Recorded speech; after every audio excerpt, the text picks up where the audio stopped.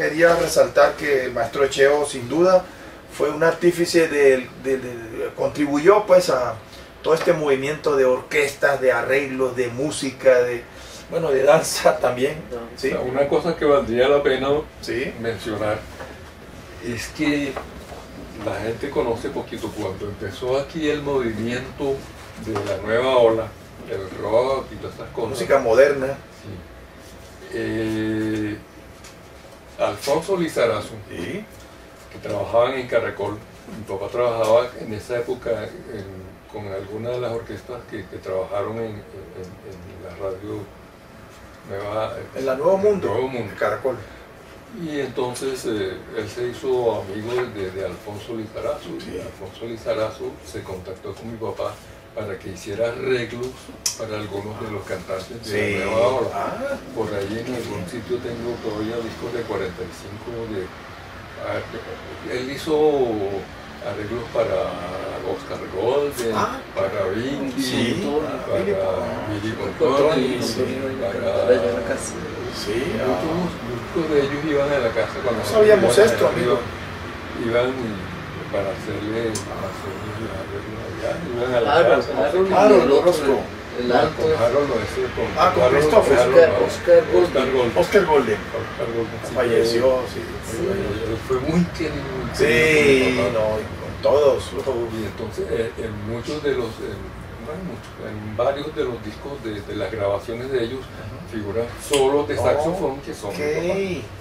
Bueno, les confieso que yo no sabía esta parte porque siempre conocimos al maestro Cheo en el mundo de la música tropical y tradicional. Con su, pero bueno, la pregunta es, eh, ¿el maestro Cheo tuvo formación también armónica? ¿Él dominaba algún instrumento, el piano, la guitarra?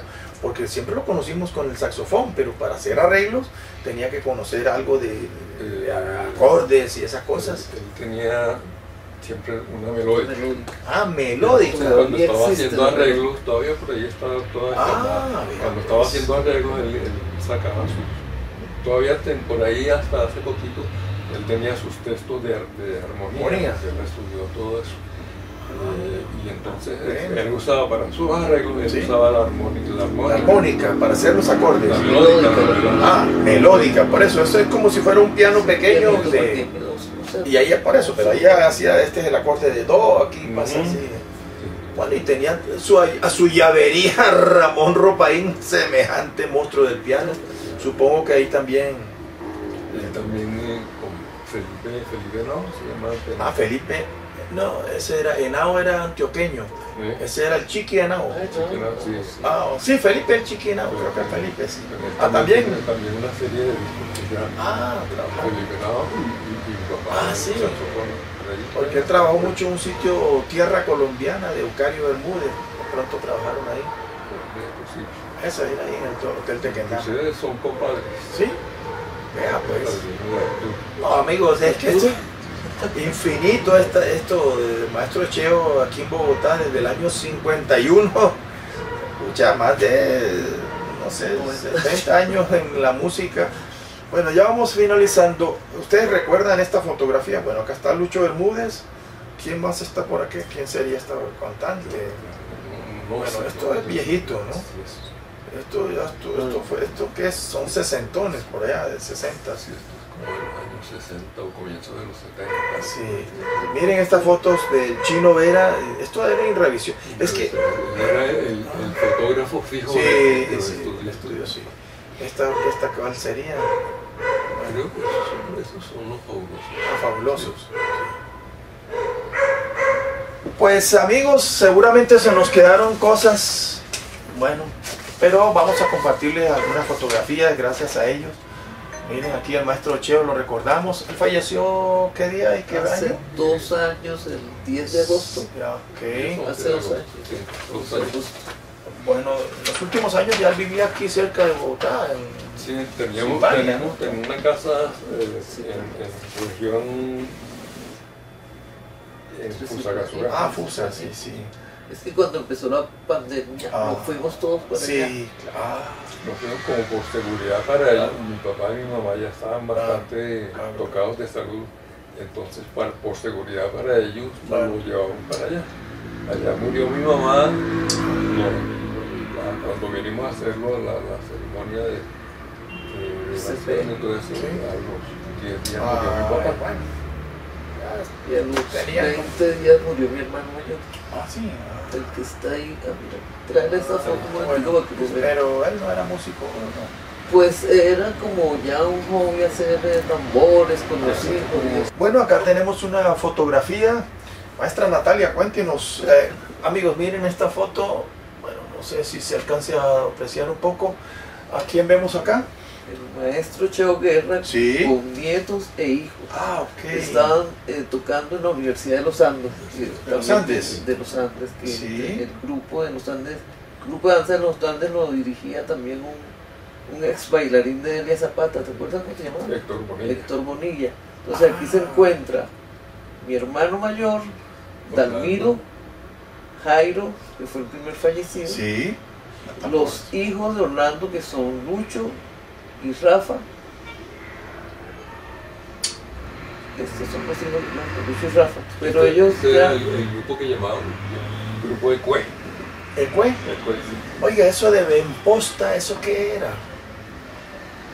Posta era un como una organización de, de niños recogidos Ah, que tenían su sede, que creo que todavía la tienen, arriba por la circunvalar. Sí, creo que eso lo, lo, lo fundaron algún, algún grupo religioso, algún sí, franciscanos o españoles o algo, y ellos manejaban ese grupo y lo llevaron, inclusive Viajaron a España y Alemania. llevaron a, estuvieron de gira por Alemania y España, mi papá estuvo en esa vez.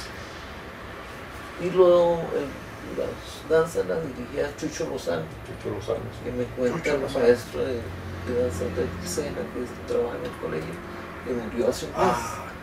Pero yo no sabía que él tenía un hijo Lozano también, que también fue maestro, o es maestro de la, de la ASAP, del maestro de danzas también, ya en otra generación. Bueno, amigos, ya vamos cerrando y yo quiero agradecerles infinitamente a los hermanos Guerra por habernos permitido socializar estas memorias porque definitivamente pues no podíamos dejar por... Yo he hecho en los programas, he mencionado maestro por ahí, yo les compartí eh, lo que hemos publicado, pero ya hoy pues más de cerca no conocía cosas.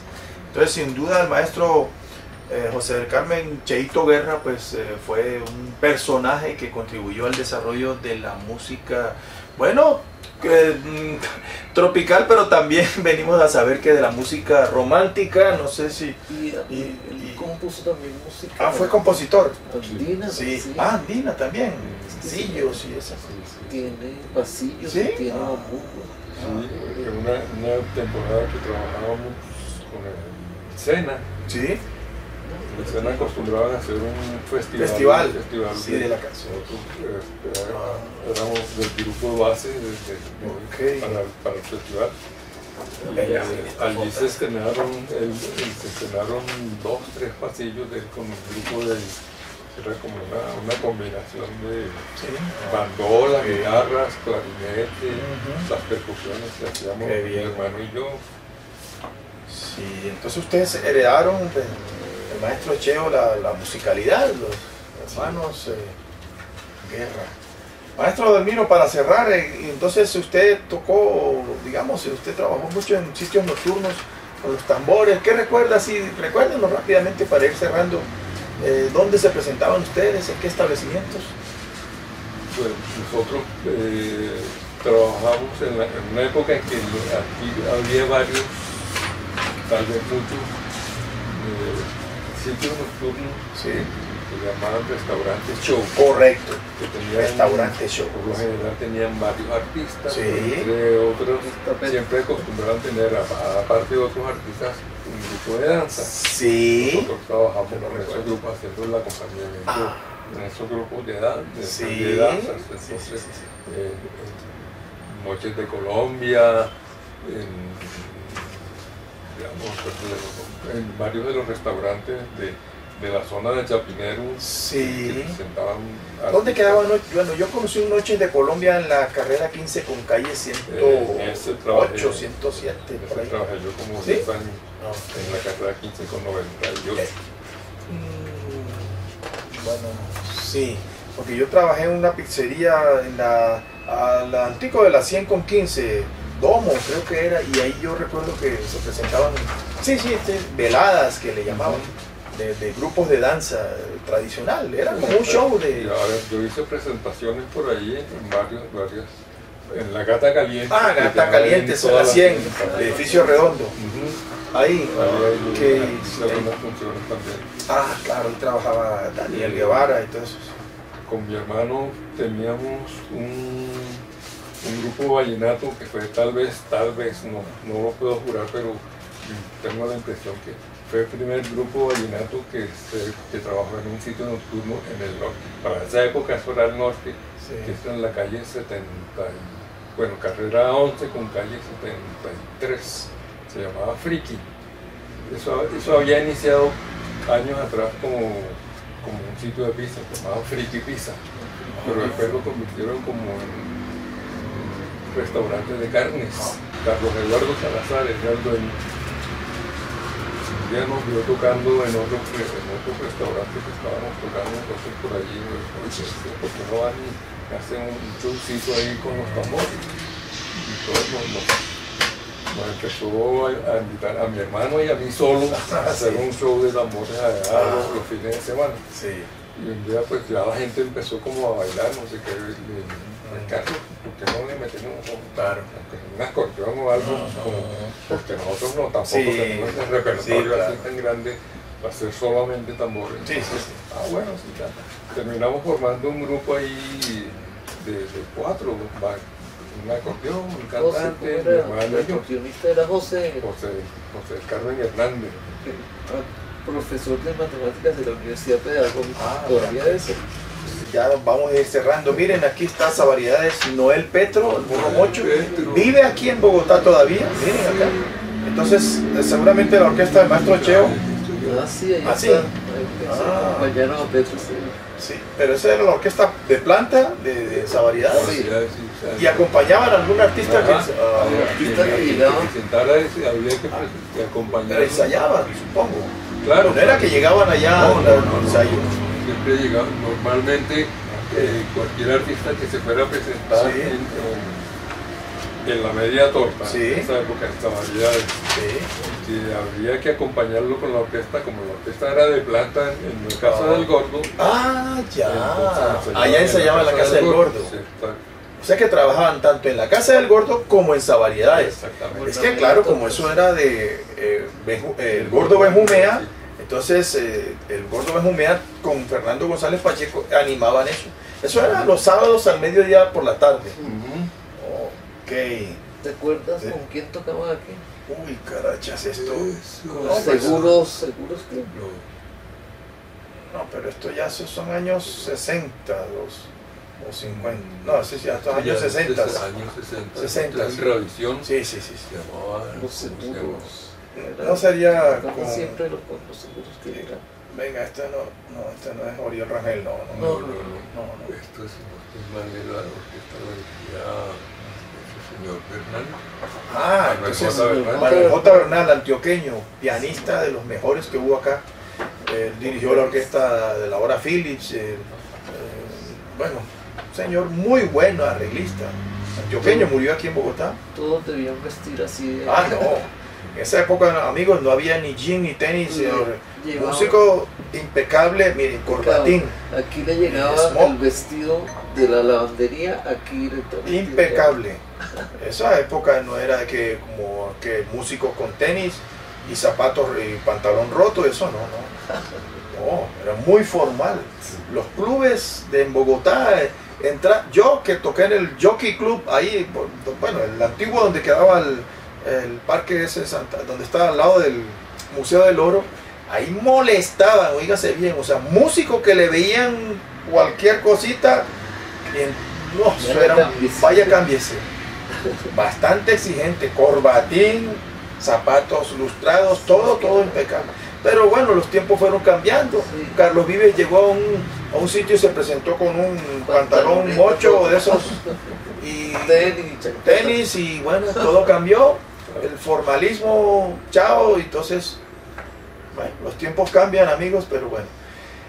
Entonces, eh, mil gracias a los hermanos Guerra. Hemos hecho un recuento aquí resumido, gracias Nata, por, eh, de la vida y obra del maestro Cheo Guerra, para que no se olvide todo este legado, porque este es un país sin memoria. Vamos a tratar de, de, con el permiso nuevamente de ellos, de escanearlo y socializarlo. Esto se hace con fines eh, pedagógicos y patrimoniales, patrimoniales y culturales. Así que amigos, miren todo lo que, lo que hay en esta Bogotá musical. En fin,